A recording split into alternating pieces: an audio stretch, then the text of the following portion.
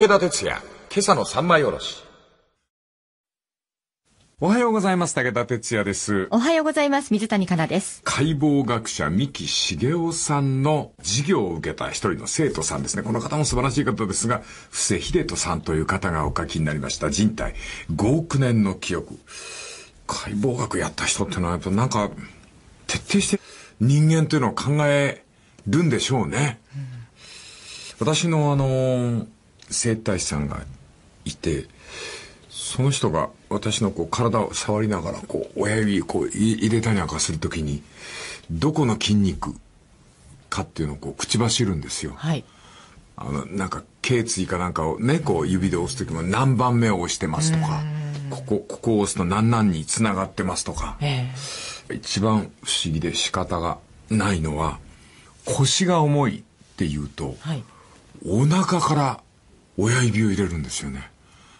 これがまあ痛いのなんの。結構なんかギューッと入れるってそうそうそうそうしたよね。。もうナイフで突き刺すみたいな感あーはいじで、。その代わりその親指がなくなった瞬間に、スーッと痛みが消えているんですよ。はい。それにはもう本当に痛いんですけど文句言えない。からもう一つ女性の方にはできない本当はできるといいんですけどねと残念そうにおっしゃるのは肛門の周り。知らないだろう。肛門の周りに何点かツボがあるんだよ。そういうのはやってもらったことないです。もうこれが痛いのなんの？痛いんですか？痛い。はい。もうあの呪いの藁人形の釘打ちみたいな感じ。そんなに？うわうーんうーんえ、でもその後は、え、経すっごい験したい。でもやっぱり女性の方びっくりなさると触っただけでね。ええまあね、普通は。肛門の真横なんてやっぱな、人間なかなか触れるとこじゃだけどやっぱりそういうふうにして、結び目みたいなものが潜んでいるんですね。はいそれから、とある方の本で読んで、これまたこの方の本は別個に紹介しますが、すっごく面白いなと思ったのは、ずーっと人体の筋肉図ばっかり書いていたんで、だって、その人がね、哲学を志してる方なんです。筋肉を書いといて、女体を書いたんだって、前より上達してるんだって。どういうことですか？やっぱりね、人体の筋肉っていうのを勉強して、女性の裸を描こうとすると、やっぱりしっかり筋肉の動きを見るっていう腕の、あ違うんだ。うん筆のさばきになる。へえ。ここういうのが私にはすごく面白いんですよね。それから、これはあの、合気道の先生から教わって、これ名言ですよ、皆さん。合気道の先生曰くですが。武田君、殴りかかってくる人はですね、必ずですね、息を吸います。はい。俺、これ、感動したんだよ。しない？え、待って、よくわからない。息を吸います？うん。殴る瞬間。ああ、絶対するでしょ。確かに。で、吸ってから行きますね。そう。うん。だから、あ、吸ったと思えばいいんだって。すごい、でも瞬間のことですよ。で、それが練習してるうちに見抜けるようになる。はい。合気道的身体の動きはどうするかっていうと、吸ったと思った瞬間、こっちは吐くんだって。はい。そしたら全部手足が自在に動くんだって。えー、だ、だ、どっちの手足がですか？自分の手じ足が？じあうん自分の方が。吐くと。吐くと、肩から力が抜けるから、はい。抜く動きの中で動きを模索する。合気道は吐く練習の武道なのよ。それから、息だけで言うと、お相撲さん。はい。ぶつかり合って組み合うでしょ。そうすると何を待ってるかというと、相手が息を吐く瞬間を待つんですって。息を吐くと力抜けるよね。はい。その瞬間を見定めて、一気に押していくんだって。呼吸の一息の中にほとんど格闘の妙味があるんだ。で、三木茂雄さんがおおっしゃってる中ですごく面白いのは、呼吸というのはただ単に数拍を繰り返す。ただしすごく面白いのは、吸うために横隔膜という専用の筋がある。お腹の中に。はい。ところが、吐くに特化した専用の筋肉はない。はあ。はい。だから、横隔膜を、で吸う。で、吸うんだけど、吐くためには、まあ、これを使わないっていう。あ、わかります。そそういうことで、吸う吐く吸う吐くを繰り返していく。だから、息を抜くってことは、ものすごく重大な人間の意識なんだって。はい息抜かないと大変なことになるぞっていう。はい。だから、日本語の言葉の中に、これ三木先生の言葉ですよ。はい。息抜きが必要だっていう表現がある。ちょっと面白いでしょ、これ。息を抜くね。そのは数拍の使い分けが生きていくということだというね。ごっちゃ混ぜにしていろいろ語ってみました。この続きまた明日のまな板の上で。おはようございます。武田哲也です。おはようございます。水谷香奈です。三木先生はおっしゃいます。呼吸もまた数拍を繰り返す。臓器的にはただし、数には横隔膜という専用の筋肉があるが、拍には特化した専用の筋肉はない。だから数よりも吐く方が実は人間にとって難しい。息抜きが必要とかって言われるのは、息を抜く、息を吐く、それを練習しなさいという。はいだから温泉なんかに使ったりなんかしますと人間はやたら吐いてばっかりおりますですね。確かにそうですね。ねあの、今自分ですよね。キンキンに冷えたビールを夕方、キューッと一杯飲んで、カーンっていうのも、吐くという方向に意識を持っていくという。えー先生曰くでありますが、おそらく数拍のリズムは、生命体、我々が長い進化の歴史を体験するときに波音に揉まれたというのが数拍のリズムに影響したんではなかろうかというふうに。これ前も言いましたけどもね、もう一回繰り返しましょう。これ先生もおっしゃっております。内臓の感覚は実に微妙で考えてもみてください。肛門はといえば時々まあね、失敗することもありますけども、これから出そうとするものが、へか、みかっていうのを、あの、わかるという、そういう感覚を持ってる。はいしかも、あ、へだと思いますと、音を出すか出さないかっていうのを、弁の開き具合でな、あの、あれですよね。大きくしたり、茶巾絞りにしたりする。俺は思い出すな何ですか？いやいや、あなたは若いからそんな体験ないだろうけど、もう俺はじじいだから、昔さ、もう今はそうでもないんだ。もっと合理的な診断方法があったんです。昔人間ドック行きますとですな、はい女医さんがね、人差し指入れるんですよ。あ肛門チェック。あ。今でも先生入れますよ。いや、入れるか。はまああれ最初慣れなくてさ、い。まあね。あの、意識、つまり脳の方ではね、開けって言うんだけど、ええあそこがさ、あのって、なっちゃうんですね。そうそう。え力抜いてくださいって茶巾に絞っちゃって、ほんで、ケツ叩かれて力抜いて。武田さん、力抜いてください。入りませんから。力抜いて。でも、絞るとさ、もう、緩めようと思っても、ほ全然コントロール効かない時あるじゃない。あれ、やっぱり、心と意識って違うよな。そうですあね。あれだけ、あの、絞ってるんだもんな。何回ケツを叩かれたことか、ペチャペチャペチャペチャさ。リラックスしてください。リラックスって言われるとリラックスできないんだよな。はい。さあ、ここからは、お母さんであるかなさんには実に話しやすいこことであります。はい。妊娠して子供をはらむ。そして子供をお腹の中で育てる。哺乳類が選んだ子育ての仕方でありますけどね。これには三十数億年の生命進化。本当に女の人のお腹の中って本当すごいよな三十数億年を十月10日で再現するという。ミキさんはそんな風におっしゃっております。小さな小さな精子が体の中に取り込んで、あれもうシステム聞くとすごいなかな。システム？その、まあ、女性の前でなんですけどね、あんなこと言われなくても分かってるだろう男性の精子を受け入れて、精子が入ってきて、あなたのって僕は言い方しちゃいけない。その女性の肉体の中を入っていくわけでしょ。泳いでいくわけですよね泳いでいくわけですよ。ええあれさ、あの時にさ、免疫システムって、解放しろって言うんだってね。えーっと、女の人の体の体の中ではい。精子が入ってくることに関して、警戒するのは入れてやれ入れてやれって言うんだって。その癖だよ、かなさん。はい。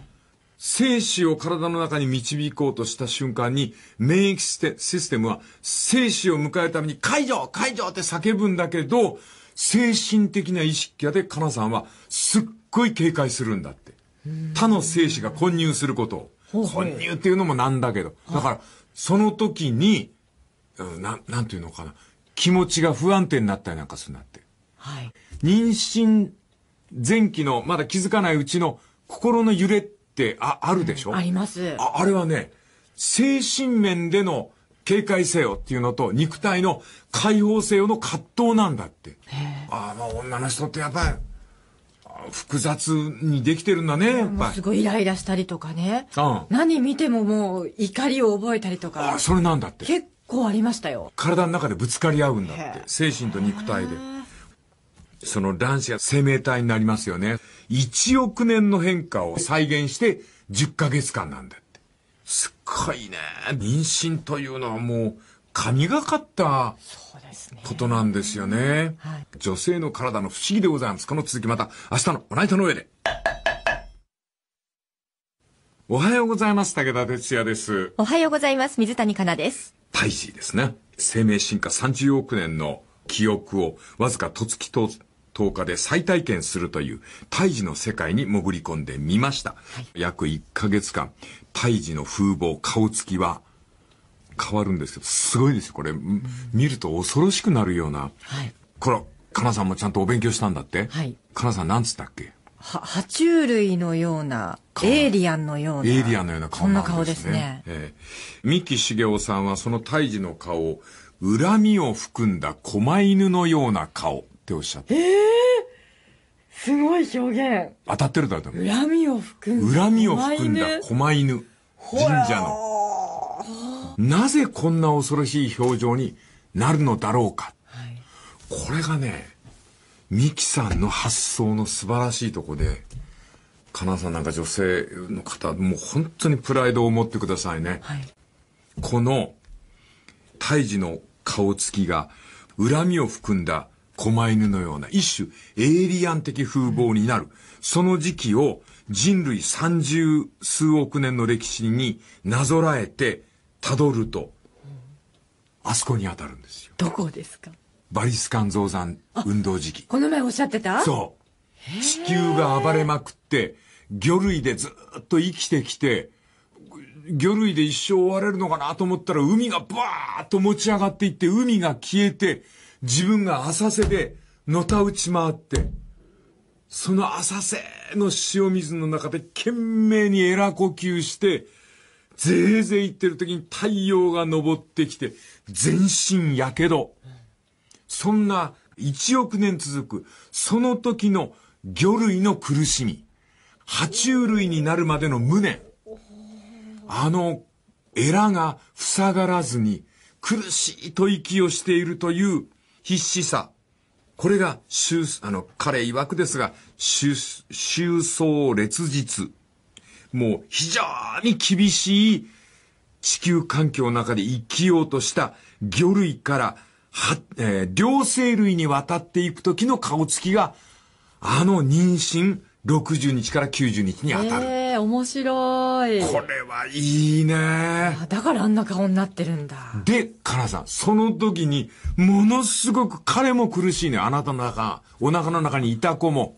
はい。それであなたに、母さん苦しいって、全体の地球に向かって問いかけてるのが、カナさんが襲われるつわりなのよ。わあ、面白い。つわりこそ、あの胎児の母に対する連絡なのよ。内臓連絡。なるほどね。うん。うーん。その時に、あ、ああなたも苦しいかもしんないけど、爬虫類から両生類になってお願いっていう、早く陸上に上がってきてっていう、その、その要請を、の痛み分けのために、あなたもゲーゲー吐いたりという苦しみを味わう。女性によりますけれども、大体3ヶ月、4ヶ月ぐらいのん時はもう気持ち悪かったり、うんうん精神的にイライラしたり、不安定になったりね。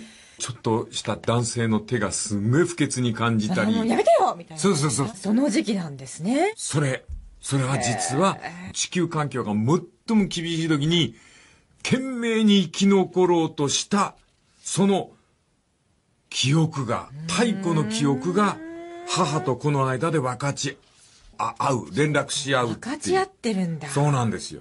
はい。そしてやがて安定期に入って、その後は出産ということで、お、お母さんの膣の中をね、今度は赤ちゃんが出てくるんですけど、これがまた重大でね、その時にお母さんの膣の中に生きている微生物を全身に浴びるんです。ああ、はい。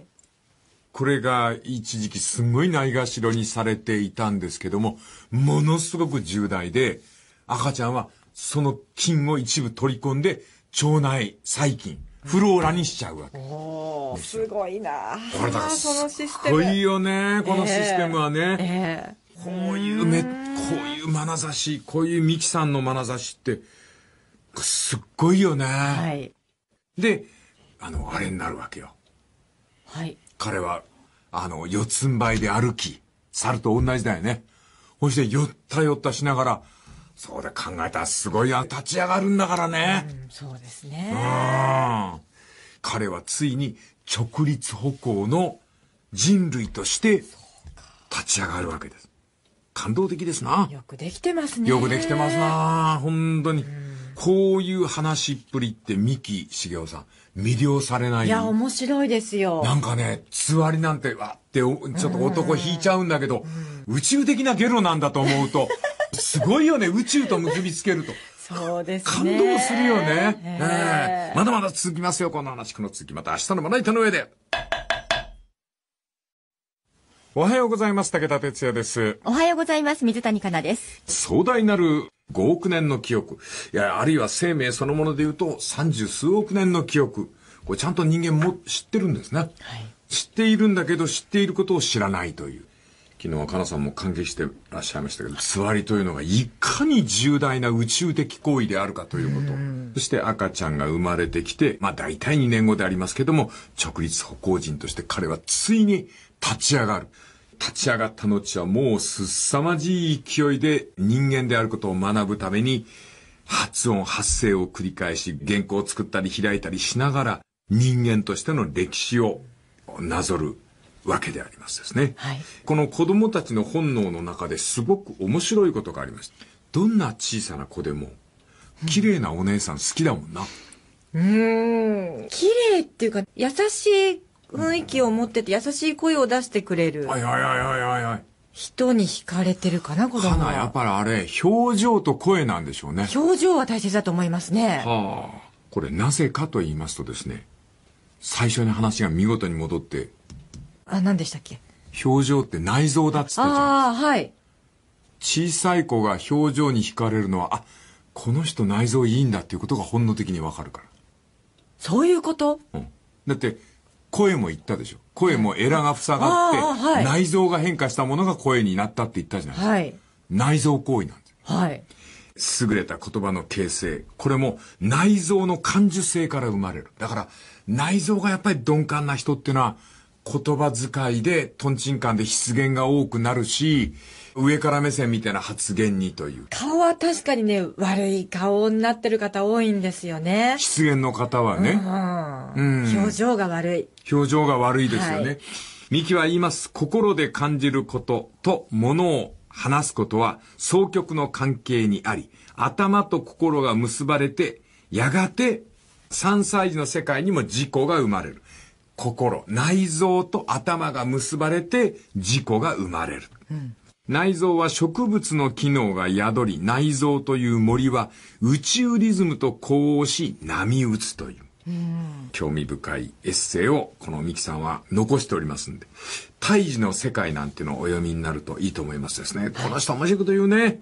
赤とんぼを追う男の子の眼差しの中に遠い狩猟時代の人間の面影があるではないか。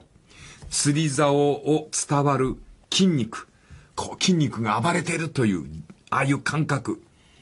あの、かかったっていう時の手応えの喜びっていうのは、私も渓流釣りやっておりますが、はい。本当にね気持ちいいんですよね。ねそれから、犬と戯れる幼児に、実は大氷河時代の郷愁があるのではないか。大氷河時代寒いでしょ。はい。抱き合って眠ったんじゃないですかね、犬と一緒に。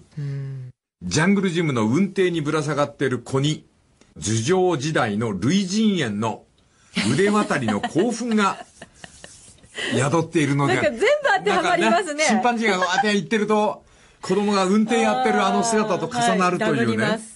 こういう、あの、三木博士の、こう、人間の見方っていうのは、私は好きなんでありますな。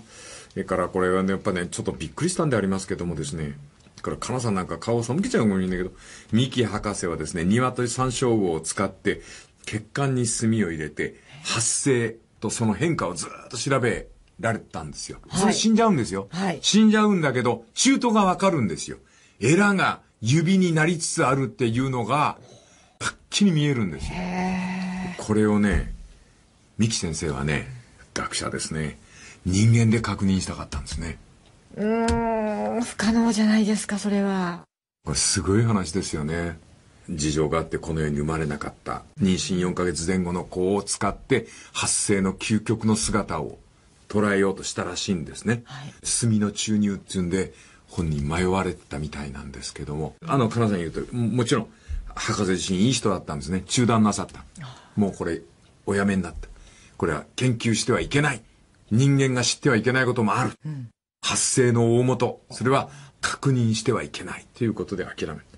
なんでかというと、ちょうど三木先生の奥さんが妊娠なさって、それでやっぱりそれは人間としてはいけないということで、人間の発生というものを可視化するという実験を断念なさったという。三、はい、木先生は著作の中で人の発生には人がその目で決して見てはいけない瞬間があるんだと、そう自分に言い聞かせたそうで、断念なさったと。で、自分のお子さんが生まれになった時に、やっぱりやらなくてよかったと、しみじみお思いになったということでございます。非常に優れた学者さんなんですな、この方は。はい、この次また明日のまな板の上で。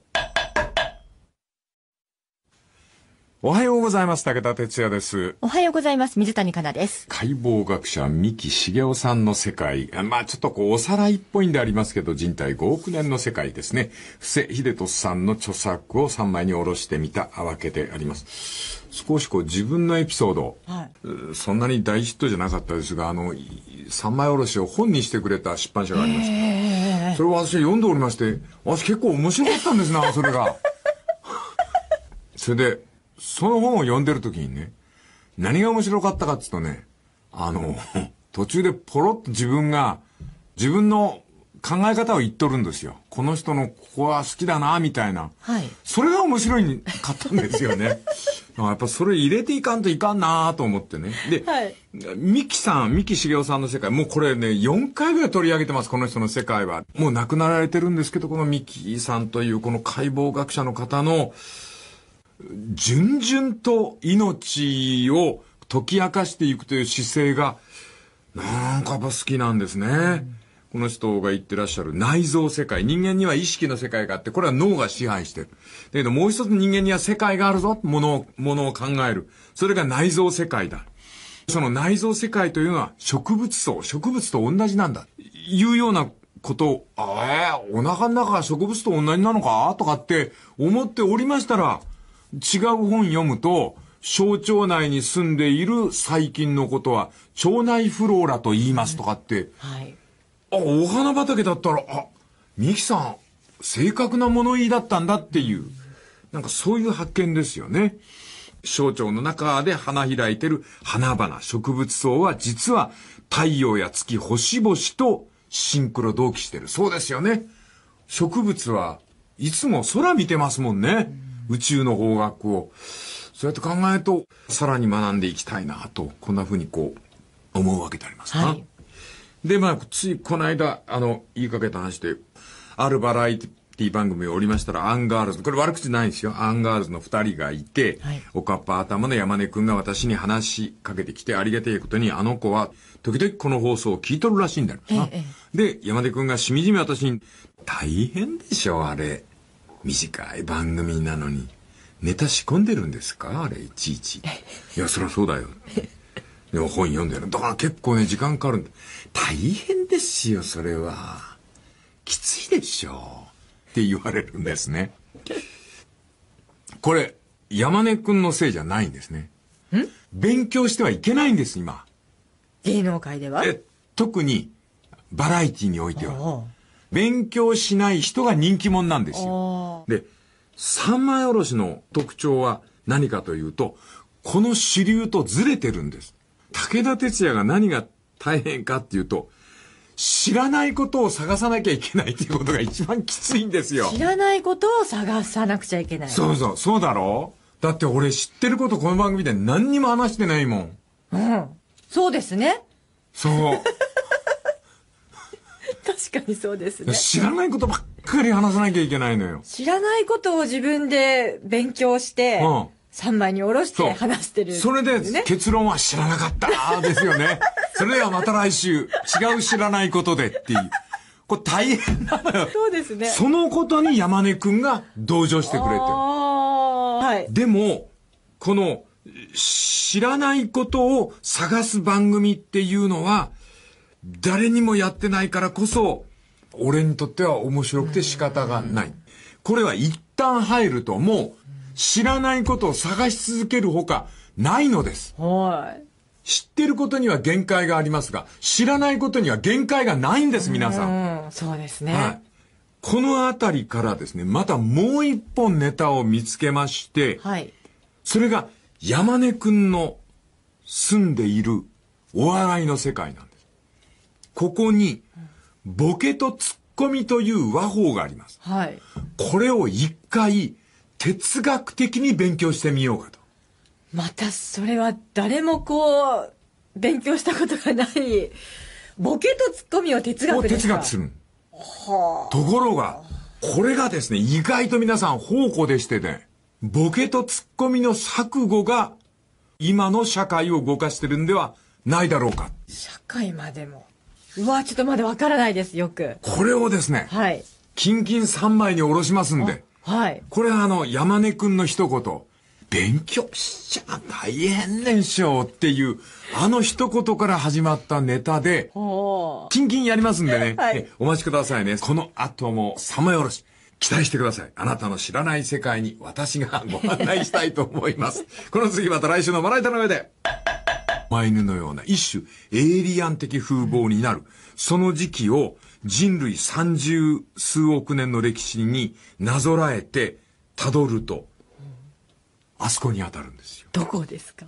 バリスカン増産運動時期。この前おっしゃってた？そう。地球が暴れまくって、魚類でずっと生きてきて、魚類で一生終われるのかなと思ったら海がバーッと持ち上がっていって海が消えて自分が浅瀬でのたうち回ってその浅瀬の塩水の中で懸命にエラ呼吸してぜいぜい言ってる時に太陽が昇ってきて全身やけど。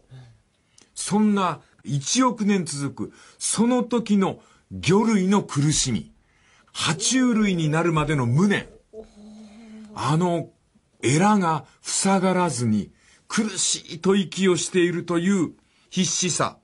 これが、収あの、彼曰くですが、収、収葬劣実。もう非常に厳しい地球環境の中で生きようとした魚類から、は、えー両生類に渡っていく時の顔つきが、あの妊娠60日から90日に当たる。ええ面白い。これはいいね。あだからあんな顔になってるんだ。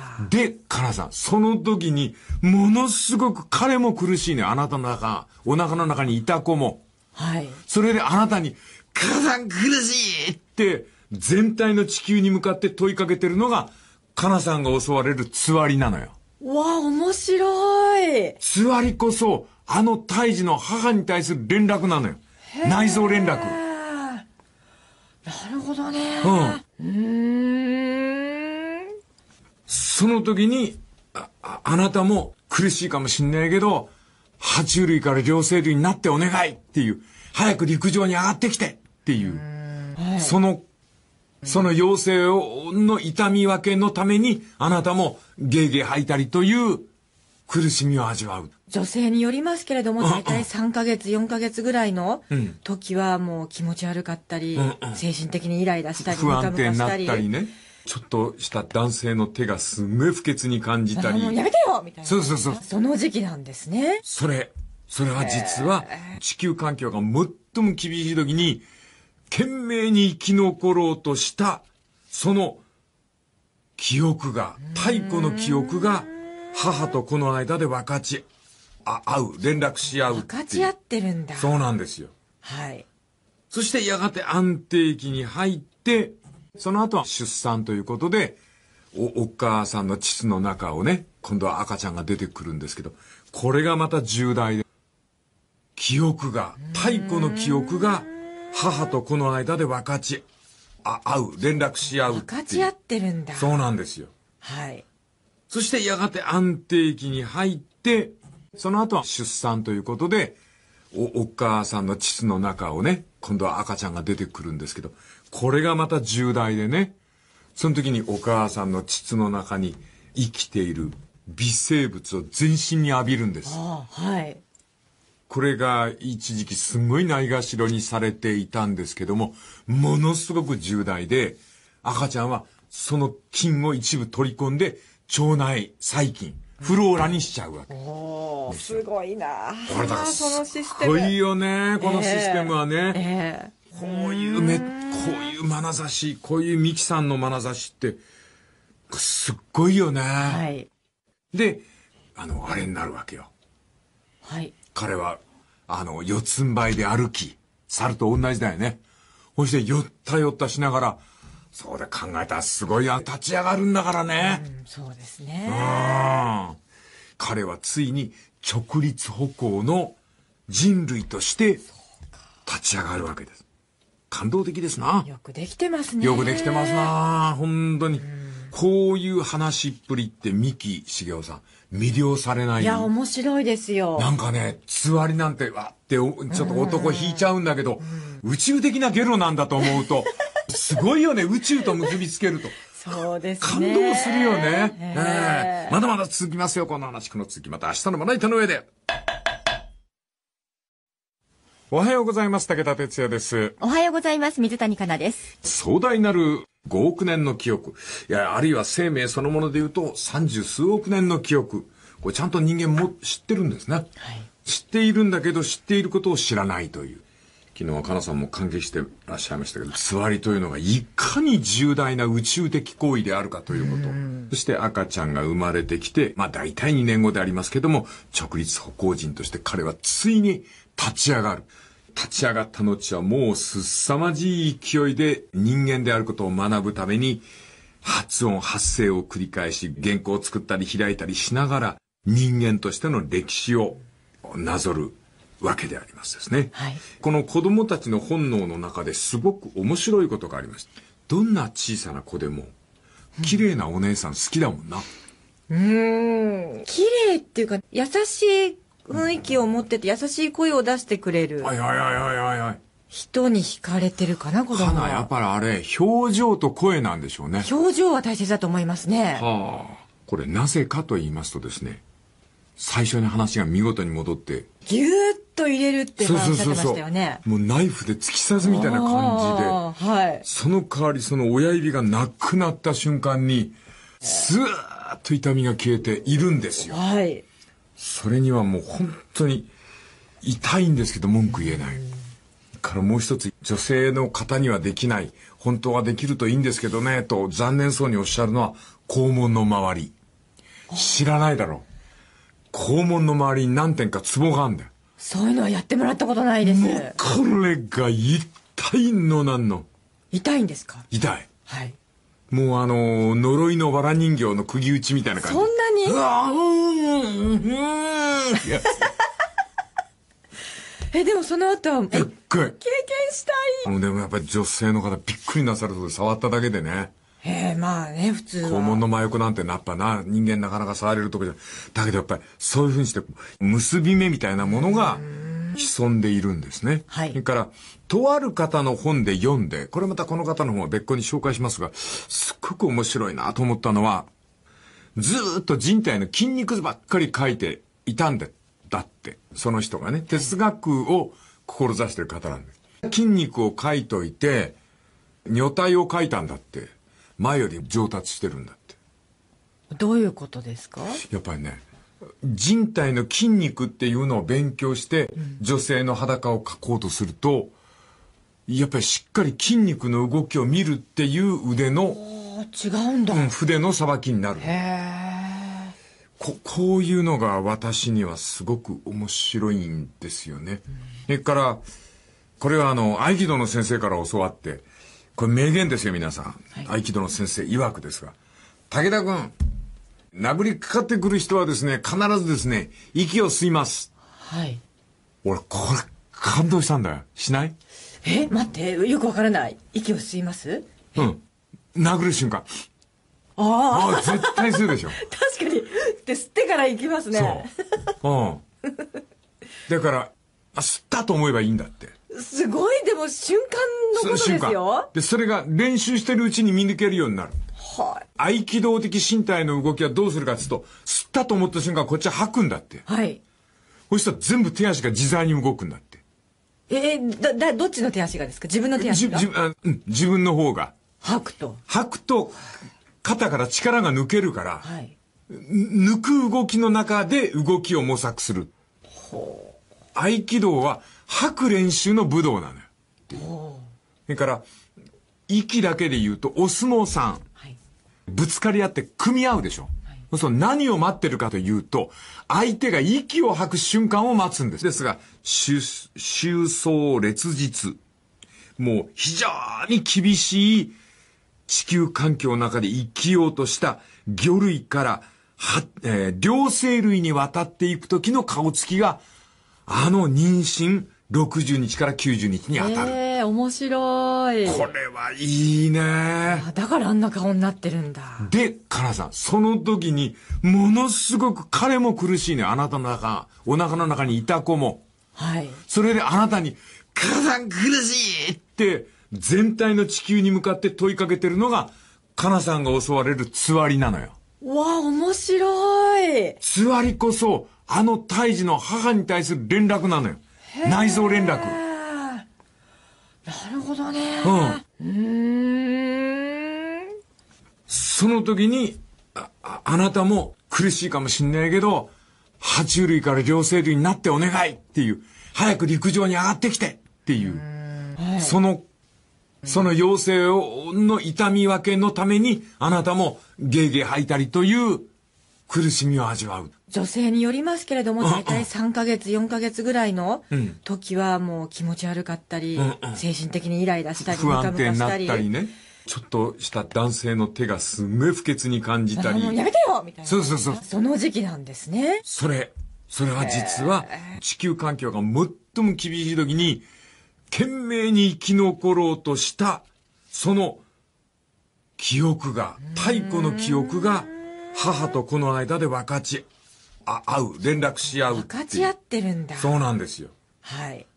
そしてやがて安定期に入って、その後は出産ということで、お、お母さんの膣の中をね、今度は赤ちゃんが出てくるんですけど、これがまた重大でね、その時にお母さんの膣の中に生きている微生物を全身に浴びるんです。ああ、はい。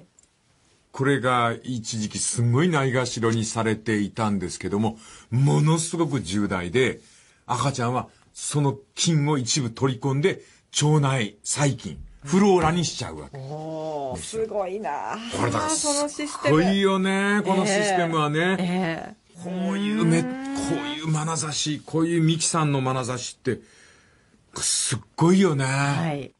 で、あの、あれになるわけよ。はい。彼は、あの、四つん這いで歩き、猿と同じだよね。そして、よったよったしながら、そうで考えたらすごいや、立ち上がるんだからね。うんそうですね。うん彼はついに直立歩行の人類として立ち上がるわけです。感動的ですな。よくできてますね。よくできてますな本当に。吸ったと思えばいいんだって。すごい、でも瞬間のことですよ。で、それが練習してるうちに見抜けるようになる。はい。合気道的身体の動きはどうするかっていうと、吸ったと思った瞬間こっちは吐くんだって。はい。そしたら全部手足が自在に動くんだって。えー、だ、だ、どっちの手足がですか？自分の手じ足が？じあうん自分の方が。吐くと。吐くと、肩から力が抜けるから、はい。抜く動きの中で動きを模索する。合気道は吐く練習の武道なのよ。それから、息だけで言うと、お相撲さん。はいぶつかり合って組み合うでしょ。そうすると何を待ってるかというと、相手が息を吐く瞬間を待つんですって。息を吐くと力抜けるよね。はいその瞬間を見定めて、一気に押していくんだって。呼吸の一息の中にほとんど格闘の妙味があるんだ。